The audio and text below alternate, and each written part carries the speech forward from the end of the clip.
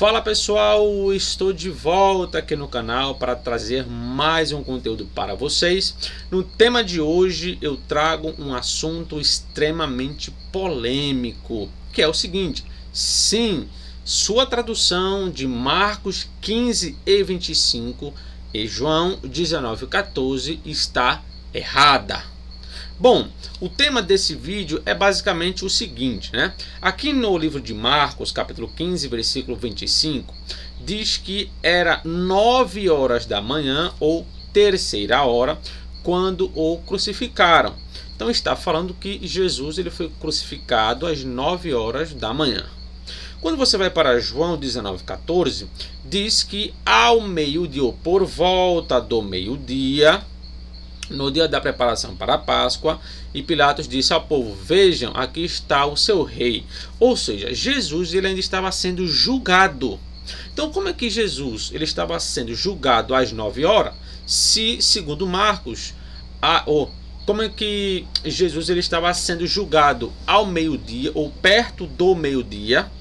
E Marcos diz que ele foi crucificado às 9 horas. Mas como que isso pode ser possível? Ele foi crucificado para depois ele ser julgado? Isso não faz o menor sentido, né? Inclusive, é depois desse versículo 14 que Jesus ele vai ser crucificado. E segundo João, era meio-dia ou sexta hora. Então, como resolver aqui essa questão? Bom, antes que eu comece a comentar sobre ela, peço que você se inscreva no canal se você não é inscrito, deixe o seu like, compartilhe se você puder e quiser e peço a todos aí que sigam a minha página lá no Instagram. Eu voltei a postar conteúdos lá, né? Estou sempre postando diariamente, né? Então, me acompanhar, eu sempre coloco caixinhas de perguntas, né, para você fazer lá a sua pergunta. Aqui está o Pix do canal, né? Caso você queira fazer alguma contribuição e as, e as pessoas que fizeram contribuições no vídeo passado, né? Agradeço a todos vocês aí, certo? Inclusive eu já comprei aí alguns livros, né? Para trazer mais conteúdos aqui para o canal. Beleza? Então é isso aí. Ah, claro, não posso esquecer. Se você tem vontade de estudar grego do Novo Testamento, estudar hebraico, estudar teologia, é só falar comigo aqui na descrição desse vídeo. Você pode encontrar todas as minhas redes sociais. Beleza? Então vamos lá voltar para o conteúdo, para o assunto principal desse vídeo. Bom, como eu já é, é, falei, né? Como é que pode, né? Jesus ele ser crucificado às nove, se ao meio-dia ele ainda estava em julgamento. Bom, existem algumas interpretações. Né? A última interpretação é a solução que eu tenho para responder essa questão, que inclusive envolve aqui uma questão de tradução. Bom, a primeira interpretação que não é muito usada hoje é aquela que diz que Marcos ele tem prioridade sobre João, já que Marcos ele foi o primeiro evangelista e os outros eles usaram Marcos como fonte. Então João ele deve ter errado. Então dentro desse pensamento se dá prioridade ao que Marcos diz. A segunda interpretação, que é muito usada hoje, hoje em dia, inclusive né, em Bíblias de estudo e comentários bíblicos, é que João e Marcos eles usaram o método de contar as horas de forma diferente. Marcos ele usou o método judaico, onde o dia começava às seis da manhã. Então, a terceira hora era de 9 horas. Ela começava ali às 9 horas, tá? João, ele usa o método romano, onde o dia começa à meia-noite. Logo, a sexta hora, que é que é mencionada aqui, né, em João, que foi traduzida na NVT como meio-dia, ela não é meio-dia, e sim 6 horas da manhã. Assim, não tem nenhuma contradição, né? porque jo João ele está falando que uh, o julgamento perante Pilatos tinha acabado por volta das seis e ele foi crucificado às nove. Então, problema resolvido. Porém, essa interpretação ela é ainda mais problemática e eu vou trazer aqui os problemas dessa interpretação e depois eu vou trazer aqui a ideia que eu tenho para falar sobre esse texto, tá? Ó, quando você pega a Bíblia NVI, tá? A NVI antiga, ela traduziu aqui ó, por volta das 6 horas da manhã. Quer dizer o quê? Que os tradutores, eles entenderam que a sexta hora ali estava dentro da concepção romana, que seria que ela começaria à meia-noite ou dia, né? então a sexta hora seria 6 horas da manhã. Bom, a NVI atualizada, que no caso é essa aqui, ó, de 2023, eles já mudaram por volta do meio-dia. Por que, que eles mudaram, né? Bom, vamos lá. É, quando você pega o livro de Marcos, capítulo 15, versículo 1, aqui diz que de manhã bem cedo, olha só isso aqui, ó, de manhã bem cedo ou ao amanhecer, como outras traduções falam, os chefes dos sacerdotes, com os líderes religiosos, os mestres da lei e todo o sinédrio chegaram a uma decisão amarrando Jesus, levaram-no e o entregaram a Pilatos. Então veja, Jesus ele foi entregue a Pilatos de manhã bem cedo ou ao amanhecer. Essa expressão ao amanhecer, uh, na época de Jesus, ela não poderia ser antes das 5 e meia. Ele estava muito ligado às 5 e meia em diante. Por quê? Porque era nesse período que o sol já começava a trazer luz, né? Era onde estava ali nascendo os primeiros traços de luz. Então eles entendiam que aí era o amanhecer. Então veja, ao amanhecer, certo? Quando você vai para João 18, 28, acontece basicamente a mesma coisa. Depois levaram Jesus da casa de Caifás para a audiência. E era para amanhã cedo e não entraram na audiência para não se contaminarem, mas poderem comer a Páscoa. E aí, né, envolve ali já entra Pilatos em ação. Então, de novo, João ele também menciona o fato de Jesus ele ser levado, né, é, para Pilatos de manhã bem cedo. Quando olhamos para Lucas 22, 66, acontece a mesma coisa. Logo que amanheceu, reuniu-se a assembleia dos anciãos do povo, tanto os principais sacerdotes como os escribas, e o conduziram ao sinédrio deles, onde lhe disseram: Se tu és o Cristo, e aí começa, né? Então veja, logo que amanheceu. Então, era cinco e meia em diante, certo? Certo. Agora vejam isso aqui, ó. Nesse texto aqui, nós temos um relato que nenhum outro evangelista aborda, que é o seguinte: aqui o pessoal, quando levou Jesus para Pilatos, uh, aqui fala né, que Pilatos, ouvindo falar da Galileia, perguntou se aquele homem era galileu. E sabendo que era da jurisdição de Herodes, remeteu a Herodes, que também naqueles dias estava em Jerusalém. Então, quando Cristo chega que Pilatos ele ouviu que Jesus era galileu, ele mandou Cristo para quem? Para Herodes. Olha, vai para Herodes, já que Herodes ele governava a Galileia, né? Aí continua. E, e Herodes, quando viu a Jesus, alegrou-se muito, porque muito havia, é, porque havia muito que desejava vê-lo, por ter ouvido dele muitas coisas, e esperava que lhe faria fazer, que lhe veria fazer algum sinal. E interrogaram-o com muitas palavras, mas ele nada lhe respondia. Estava e estavam os principais sacerdotes e os escribas acusando com grande veemência. E Herodes, com os seus soldados, desprezou e, escarnecendo dele, vestiu de uma roupa resplandecente e tornou a enviá-lo a Pilatos. Olha que coisa. Jesus, quando ele foi enviado para Pilatos, ele foi às 5 e meia da manhã, ao amanhecer. Aí ele chegou lá, teve um interrogatório, aí Pilatos descobre que Jesus era galileu.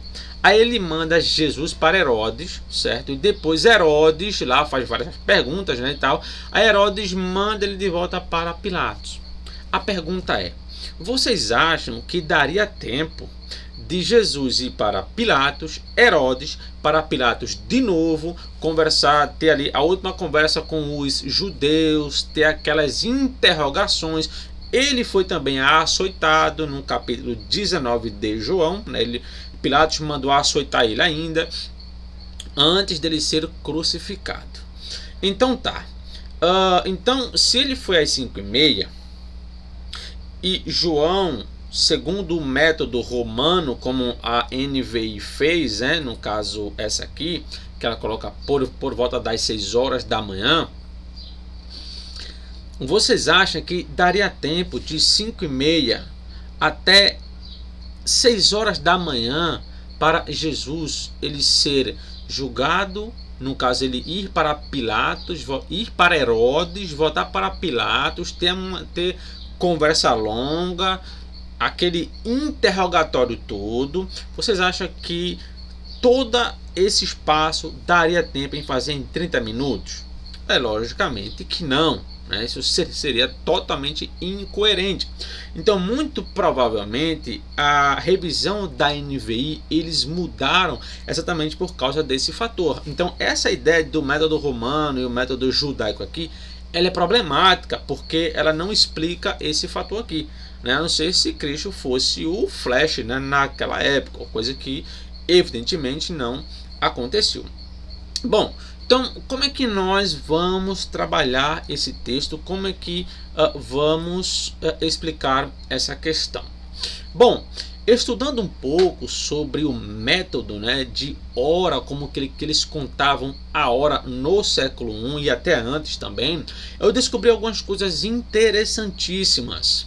Uma delas era que entre ali o século V e o século IV antes de Cristo, as horas elas eram contadas de em duas divisões. Você tinha antes do meio-dia e depois do meio-dia. Então, se algo acontecesse de 8, 9, 10 ou 11 horas, eles falavam que aquele evento tinha acontecido antes do meio-dia.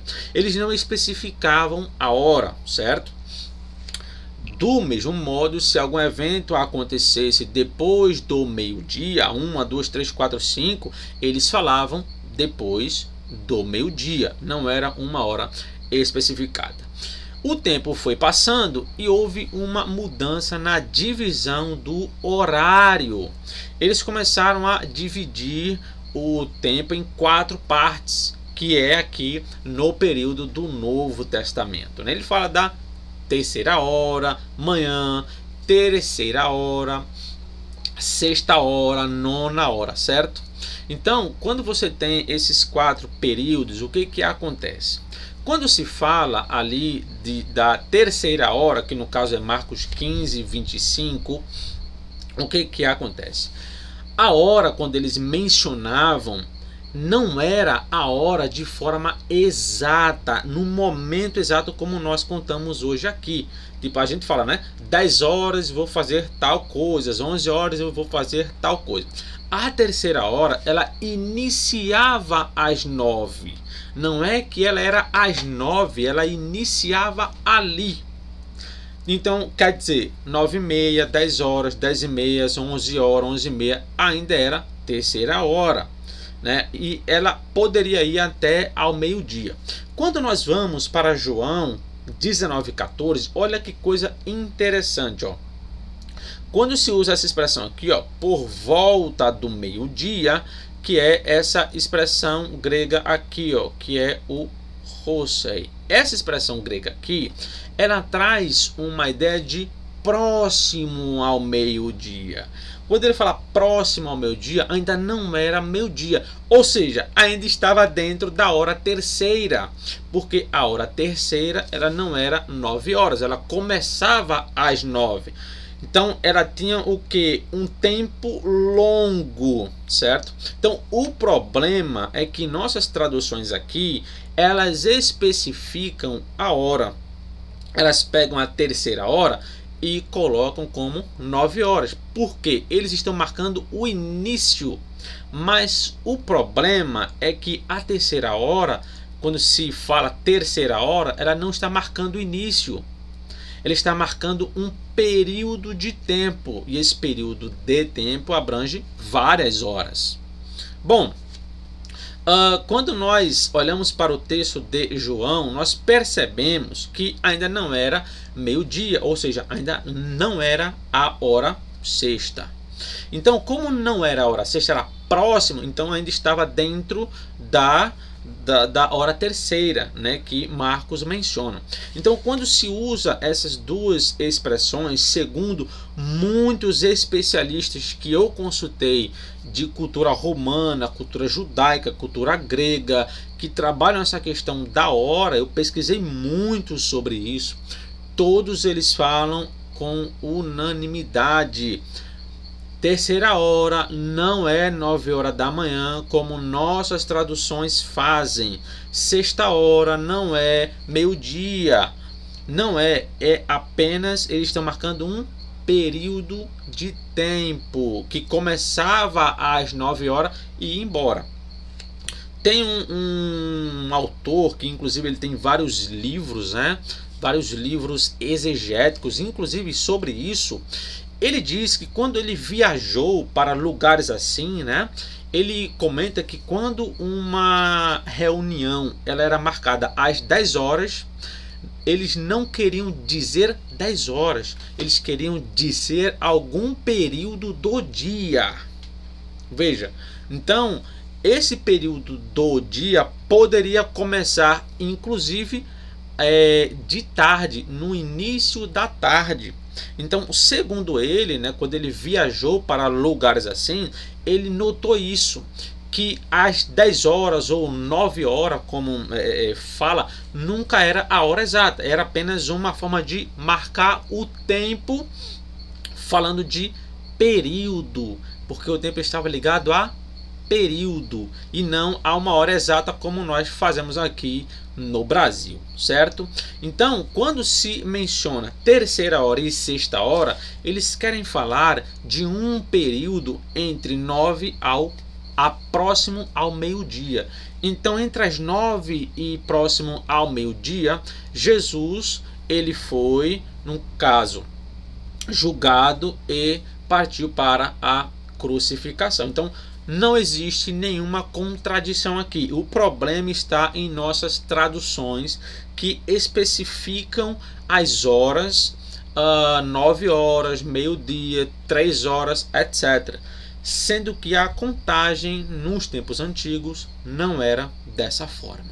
Então, levando isso em consideração, não existe nenhuma contradição entre esses dois relatos. É por isso que eu sempre gosto de é, é, mencionar a questão de você não se apegar apenas à questão da gramática ou do dicionário. Se você pegar qualquer léxico de grego, todos eles que eu consultei sempre mencionam essas duas expressões, horatrite, como terceira hora, 9 horas da manhã. Ou seja, os léxicos eles estão interpretando o horatrite ligado ao começo daquela terceira hora e não ao período da terceira hora, sendo que na época eles usavam período e não a hora exata ou a hora específica daquele acontecimento.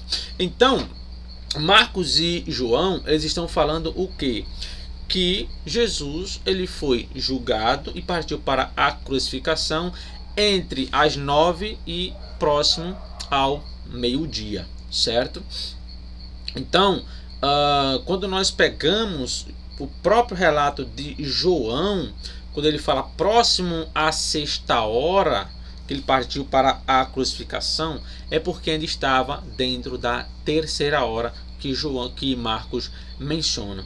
Então era melhor você deixar essa tradução de uma forma mais explicativa ou pelo menos não explicá-la especificamente, porque isso pode levar as pessoas ao erro. Eu fiz essa pergunta para várias pessoas, para vários grupos, ninguém conseguiu responder essa questão. Por quê? Porque é uma coisa que envolve a questão cultural, o costume de de é, é, contar horas, coisa que hoje praticamente ninguém sabe. Infelizmente, né, os léxicos não falam disso. O único que falou alguma coisinha foi Edward Robinson. Ele foi o único que comentou alguma coisinha bem longe ainda sobre isso, que as horas elas não eram contadas especificamente e sim em períodos. Muitos especialistas que eu consultei, que são livros que eu tenho aqui, todos eles falaram sobre essa questão, explicando que terceira hora não era 9 horas da manhã. Ela começava às 9, mas poderia ser 10, ser 11, ser inclusive 12 horas. Então, pegando todo esse, esse, esse estudo, né, que uh, você não tem também nenhum vídeo sobre isso aqui no YouTube, né, já que é um assunto que poucas pessoas conhecem, que é a cultura, né, por isso que eu, eu dou muita ênfase, né, para você ser um bom tradutor, você não pode se limitar à gramática, você não pode ficar limitado a, a, a, um, a um léxico, a uma palavrinha aqui, não. Você tem que adentrar dentro da época, dos costumes, das expressões, de como eles usavam hora, de como ele, eles faziam as coisas, senão você se limita muito. Isso gera uma complicação na hora de você interpretar o texto. Beleza? Então é isso aí, pessoal. Esse foi o vídeo de hoje. Espero que, que vocês gostem. E caso vocês queiram estudar grego do Novo Testamento, entre em contato comigo, ou teologia, né, que é uma teologia voltada mais para a, a, questão mais ampla da teologia, né? não é aquilo restrito a uma interpretação pessoal, é algo que você vai realmente estudar o assunto por diversos ângulos, né? por diversas visões. Beleza? Assim também como eu tenho um curso de hebraico bíblico, então caso você tenha interesse, é só falar comigo e caso você queira fazer alguma contribuição para o canal, aqui está o Pix. Beleza? Que Deus abençoe a todos, espero que vocês tenham gostado deste vídeo. Até o próximo vídeo. Que Deus abençoe a todos vocês.